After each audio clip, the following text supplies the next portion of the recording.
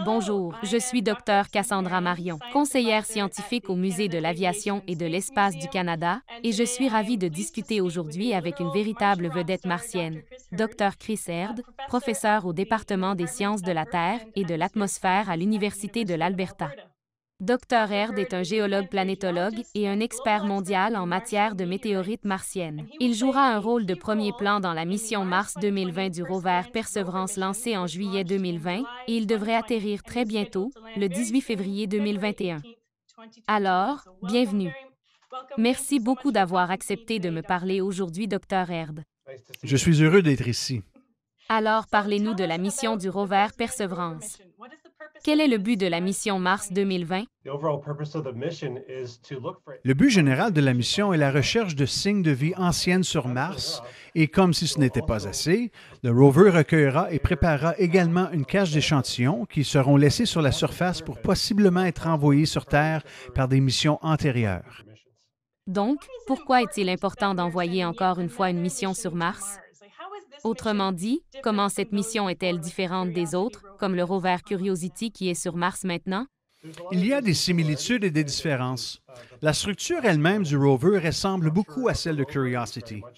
Il a été construit sur une plateforme semblable, mais les principales différences sont qu'il y a des instruments plus modernes à bord afin de nous permettre d'explorer les roches à la surface, d'observer la température et même de faire des tests comme créer de l'oxygène à partir de l'atmosphère martienne pour une future exploration humaine. Et le système d'échantillons, système d'échantillonnage qui carottera des échantillons de roches et les placera dans une cache sur la surface. Pourquoi avons-nous besoin d'un autre rover ayant cette capacité? Il s'appuie sur les explorations antérieures de Mars que nous avons faites, les deux avec des rovers et des modules d'atterrissage précédents orbitant l'astronef qui observaient la surface à différentes, à différentes longueurs d'onde et, vous savez, différentes résolutions. Nous en savons beaucoup maintenant sur Mars et son histoire, mais il y a certaines choses importantes que nous devons tester et ce rover en fera une partie, dont la première qui sera de déterminer s'il y a déjà eu de la vie sur Mars. Fantastique. Alors, quel est votre rôle dans cette mission?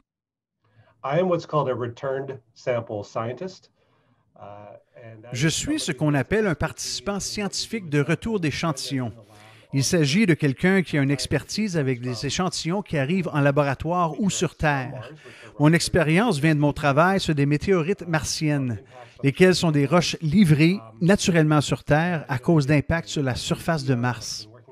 J'ai fait mon doctorat sur le sujet et j'y travaille depuis. Aussi, à cause de mon travail que j'ai fait ici à l'Université de l'Alberta sur la collection des météorites de l'université et à partir des installations qui conservent des échantillons dans des conditions idéales, ce qui est bon à savoir pour amener des échantillons d'un autre endroit. Voilà quelques raisons pour lesquelles je fais partie de la mission. Et, euh, mais mon rôle est vraiment d'aider la mission à décider où et quand échantillonner et de veiller à ce que nous ayons toute la documentation, toute l'information nécessaire à propos d'un échantillon particulier, car c'est l'élément clé très important pour ces échantillons. Pour chacun d'entre eux, nous saurons exactement d'où il provient, sur la surface martienne. Et comment recueillons-nous ces échantillons? Comment Perseverance recueille-t-il ces échantillons? Il y a un système, un système d'ingénierie extrêmement complexe qui lui permet de le faire.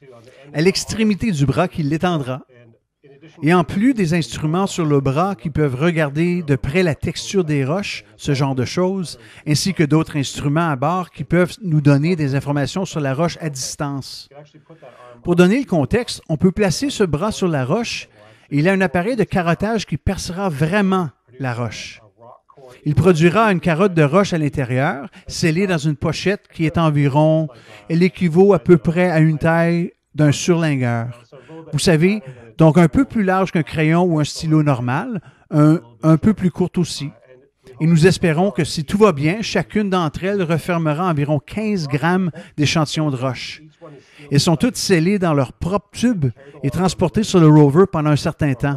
Puis, à un certain moment, nous ferons une cache pour les échantillons dont nous les rassemblons à un endroit sur la surface. D'accord. Combien de temps faudra-t-il à ces échantillons pour qu'ils soient envoyés sur Terre?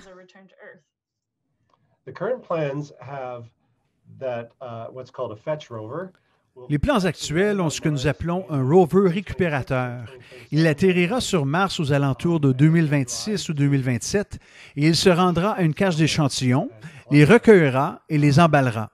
Il les mettra essentiellement sur une fusée, sur une module atterrisseur, qui est aussi descendu avec le rover, et sera projeté de la surface et mis en orbite autour de Mars, où le colis rencontrera un engin spatial sur orbite qui le prendra et le ramènera sur Terre.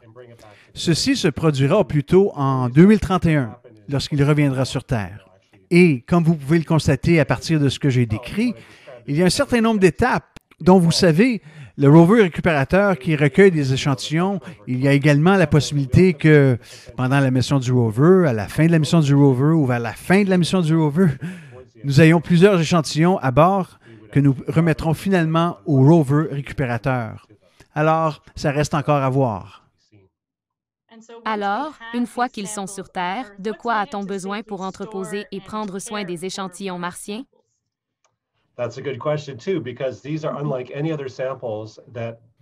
C'est une bonne question aussi, car il s'agit d'échantillons qui sont différents de tout autre ayant été rapporté d'un autre corps planétaire, y compris la Lune, les astéroïdes et les échantillons qui reviennent maintenant d'astéroïdes. Ils sont différents parce qu'ils pourraient porter des traces de vie ancienne. Donc, il y a très peu de chances qu'ils contiennent de la vie existante. Il y a ce qu'on appelle la protection planétaire et nous voulons nous assurer que la Terre soit protégée de tout microbe ou autre élément se trouvant sur Mars et vice-versa. Donc, c'est un tout autre type d'échantillon. Il y a un comité qui étudie ça et qui définit exactement ce qu'une installation qui reçoit les échantillons devra comprendre, car elle doit être construite à partir de rien pour les raisons que j'ai mentionnées. On doit pouvoir protéger les échantillons pour ne pas que la contamination de la Terre y pénètre et brouille la signature que nous pourrions obtenir des échantillons, particulièrement quand on cherche des traces de vie ancienne. Et nous devons aussi, bien entendu, garder ce qui se trouve dans des échantillons et qui pourrait être dangereux, éloigné de l'environnement terrestre. Alors, parlez-nous davantage du site d'atterrissage au cratère G0 et pourquoi il a été choisi.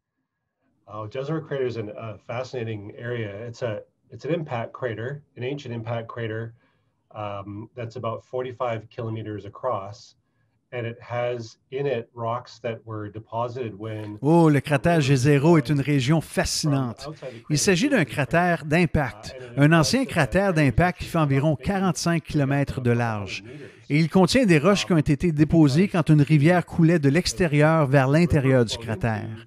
Cela suppose que le cratère était en fait rempli peut-être à une profondeur de quelques centaines de mètres, car la rivière coulait dans son cratère-lac, puis a déposé des sédiments dans ce qu'on appelle un delta. Et l'idée était d'atterrir, je veux dire, nous atterrirons quelque part autour du bord de ce delta, probablement sur le sol du cratère, mais possiblement plus haut sur le delta. Et le sol du cratère lui-même a été, le cratère lui-même, a été rempli par différents types de roches. Et celui du haut pourrait même être une sorte de dépôt volcanique sur lequel nous pourrions atterrir. Nous allons explorer ça. Nous allons explorer le delta et ensuite aller vers le bord du cratère. Il y a d'autres roches qui ont pu être déposées sur la rive de cet ancien lac qui pourraient renfermer des traces de vie ancienne. Tout cela pour dire que vous savez, ce que je viens de décrire est surtout l'environnement habitable. Si nous avions un environnement comme ça sur Terre, nous nous attendrions à y trouver de la vie. Alors, voilà pourquoi nous allons à cet endroit en particulier. Ce que je viens de décrire fait partie de ce que s'appelle la mission première euh, pour une année martienne, deux années terrestres. Atterrissage près du delta, se rendre sur le bord du delta, puis sur le bord du cratère. Mais si nous, si le rover va bien, nous ferons une mission prolongée qui compte une ou deux autres années martiennes pendant lesquelles nous explorerons l'extérieur du cratère G0 qui est encore plus diversifié en matière de type de roches qu'on peut y trouver.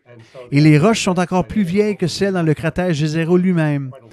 Donc l'idée est qu'à la fin, on espère, nous aurons exploré une grande portion du territoire de Mars et recueilli des échantillons et aurons une trentaine d'échantillons divers très, très fascinants d'un grand pan de l'histoire de Mars. Une chose qu'on sait sur Mars, c'est qu'elle a subi une sorte de transition au moment où ses roches ont été déposées dans le cratère G0 et son eau est passée d'un pH neutre à plus acide. Puis Mars est asséché et est devenu ce désert glacial couleur rouille que nous connaissons aujourd'hui. Et les roches de cette période dans le cratère G0 ont environ le même âge. C'est donc une question d'ensemble qui va au-delà, vous savez, à savoir s'il y a de la vie là. Pourquoi Mars a subi cette transition, passant de largement habitable à pas vraiment habitable aujourd'hui. Ce cratère-lac a pu être formé il y a 3,84 milliards d'années et les roches y sont pour que nous puissions les explorer. Pouvez-vous donner un exemple de ce que vous recherchez, peut-être des traces géologiques ou biologiques que vous pourriez trouver? Ce qui est fascinant est qu'il y a tellement de différentes sortes de roches dans le cratère G0 et à l'extérieur du cratère. C'est comme s'il y en avait pour tout le monde. Mes travaux de recherche portent sur ces météorites qui sont ignées. Il existe une partialité sur le fait qu'elles sont prises sur Mars, ce qui, vous savez, est une autre raison pour laquelle nous devons envoyer un rover pour choisir nous-mêmes les échantillons. Il s'agit de roches ignées. Elles sont principalement plus jeunes et elles sont fascinantes. Elles nous donnent des renseignements incroyables sur Mars en tant que planète. J'aimerais trouver quelque chose de semblable, peut-être des roches plus vieilles qui sont ignées, juste parce que c'est mon champ d'intérêt et d'expertise. Et nous pouvons faire ce genre de comparaison avec des roches que nous avons déjà, comme les météorites. Mais bien sûr, l'autre chose est de savoir ce que sont ces autres types de roches que nous n'avons jamais vues auparavant dans aucun échantillon de Mars, que nous pourrions vraiment explorer, particulièrement lorsqu'elles sont de retour dans les labos sur Terre et imaginer toutes les choses différentes que nous pouvons dire sur Mars en tant que système, en tant que planète. Et croyez-vous que nous trouverons des signes de vie sur Mars? Um, uh, C'est difficile à dire. Je ne suis pas un, je ne suis pas du genre à prendre des paris, alors je ne prendrai pas position d'un côté ou de l'autre. Je ne crois pas je pense que ce qui est fascinant d'une façon ou d'une autre est le fait qu'il soit probable que nous trouvions des environnements habitables, c'est-à-dire des roches qui ont été déposées dans des conditions, si elles étaient sur Terre, où on s'attendrait à trouver de la vie. Parmi les exemples, on trouve le delta, particulièrement le fond du delta.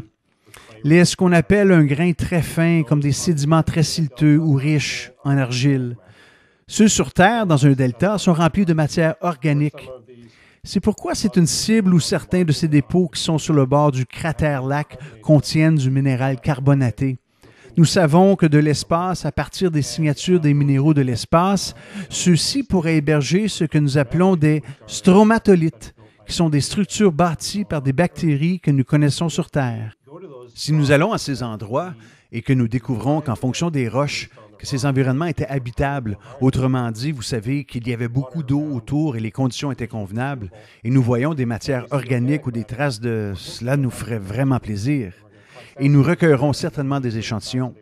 Puis nous devrons les rapporter sur Terre pour vraiment découvrir s'il y avait de la vie.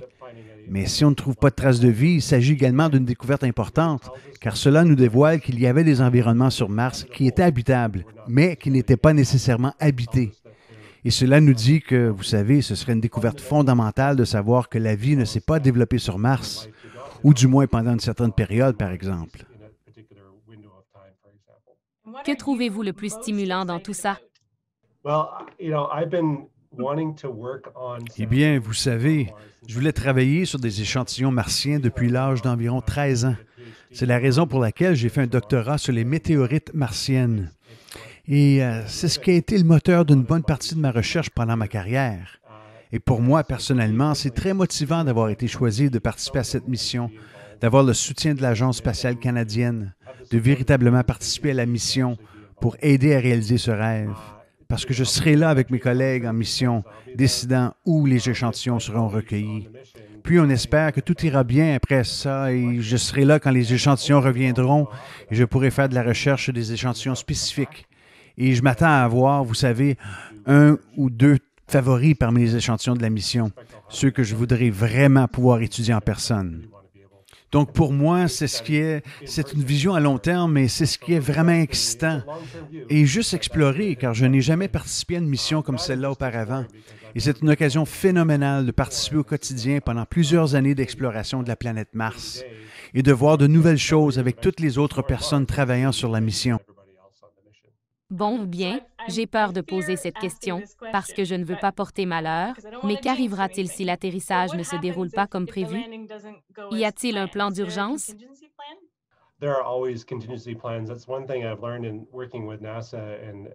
Il y a toujours un plan de secours. Quelque chose que j'ai appris en travaillant avec la NASA et les ingénieurs de JPL, c'est qu'il y a des plans pour toutes circonstances. Ils ont donc réfléchi à différents scénarios dans lesquels les choses peuvent mal tourner. Ils les pratiquent, ils les planifient. Il y a donc toujours un plan en place. Vous savez, on ne peut pas vraiment prévoir ce qui va se produire, mais il y a toujours un plan en place en cas où quelque chose dérape.